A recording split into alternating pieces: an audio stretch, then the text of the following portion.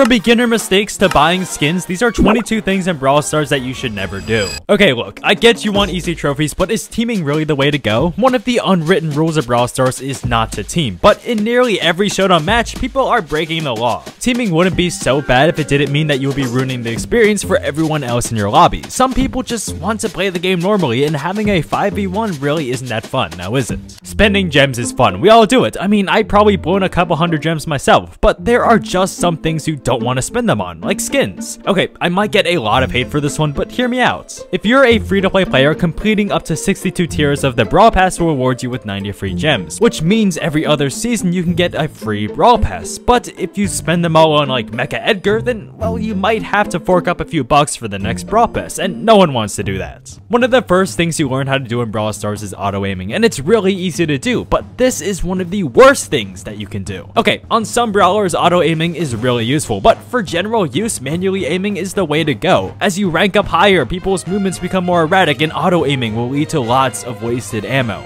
So just aim normally, okay? Thank me later. Gold is one of the most valuable resources Brawl Stars has to offer. It's used for nearly every bit of progression in the game, so don't waste it on true gold or silver skins. Even if you're maxed out, you have all the star powers, all the gadgets, all the hypercharges, Future brawlers will be released with all of these things, and it'll cost an entire silver skin or more to max out. Look, if you really like a brawler, then go ahead, who cares?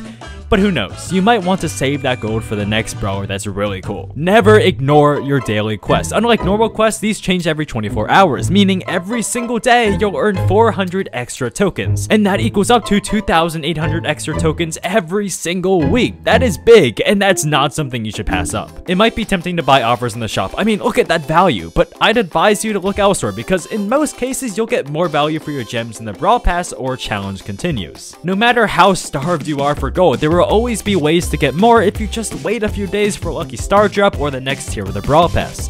No need to spend your valuable gems. The key to being a good player in Brawl Stars is to understand your brawlers. So many times do I see a Mortis pull up into a heist match and ruin all of our chances for winning. So please, I, I beg of you, play a decent brawler for the mode you choose, unless it's Showdown, then you can play whoever you want. Bling is used for almost every single cosmetic in Brawl Stars. You can buy skins, sprays, player icons, and Pins. Ugh. Pins are one of the worst ways to spend your bling. I get that they might look pretty neat, but at such a steep price point, you could either buy a little emote or a skin and a half. It's your choice. Don't forget to subscribe!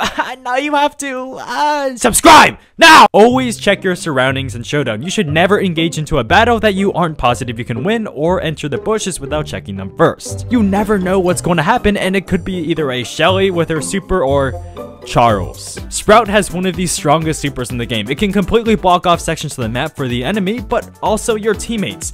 Don't be a bad teammate and block off their path. There may be better places to put that wall. Just use your gadget and put them anywhere else. Don't waste your credits on Fame. Fame is the most useless feature in Brawl Stars. It provides nothing more than a few pixels that don't do a single thing. Instead, save your credits for the new Brawlers. If you happen to miss a Brawl Pass season, you can spend your Chroma credits on the Chromatic Brawler you missed, or if a new Legendary is released, you might have enough on the Brawl Pass to spend. If you really want to get your fame up, just wait for Star Drops. They always give you credits when you need them the least. If you spend money on Brawl Stars, don't forget to use a creator code like Code Muyo.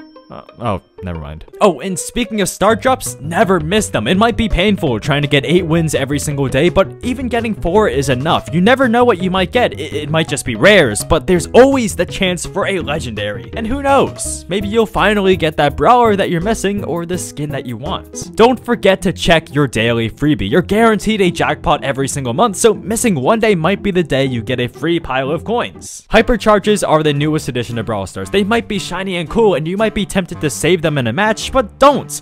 Use them right when you get them. Don't stand around like an idiot contemplating when to use them. You might just die before using it once. Power League is great. Well, Okay, great might be a bit too generous. Let's not make it any worse than it is by playing low power level brawlers. I understand if you just unlocked Shelly and you really want to play her, but please, pick someone with at least a star power. You don't want to be facing power 11s against your power 3 brawler. If you have an open goal, don't try to trick shot. You've all seen clips where trick shots go horribly wrong. Sure, you might get a cool clip from it, but speaking for your teammates, it's better to win. If you're going to try to trick shot, either go against bots or team up with a team of friends so nobody innocent is losing trophies because of your bad skill. Skills. Upgrading brawlers is great, it's so satisfying and we all love it, but don't go overboard. Gold and power points aren't the easiest things to come by, so choose specific brawlers to focus on maxing out, then move on once they're done. If you try and upgrade everyone at once, you'll quickly realize that your life savings of power points and gold are just gone. Don't ignore your brawlers. We have 73 in the game and more are coming each and every year. So do yourself a favor and try out each one. Every brawler has a different playstyle. They move differently, play differently. You'll become a better player overall if you understand the mechanics of each and can play solidly with them all. And hey, who knows, you might find a newfound love for one of them. It might be tempting to boot up some music while you brawl, but I would advise against this. Audio cues are super important in Brawl Stars. It tells you where shots are coming from or who's around you. Without this, you might not know a Shelly is in the bush or there's an Edgar jumping right onto you. Stay safe out there. Never play Hat Mortis and always play No Hat Mortis, and there's a good reason for this. It's not widely known, but No Hat Mortis actually has a slightly faster Big Dash charge, but it also has 5% more speed. This is obviously because of the hat being missing, so despite it being kind of ugly, you might want to consider using this one. And finally, don't play Brawl Stars at 3am, you do not want to know what happens.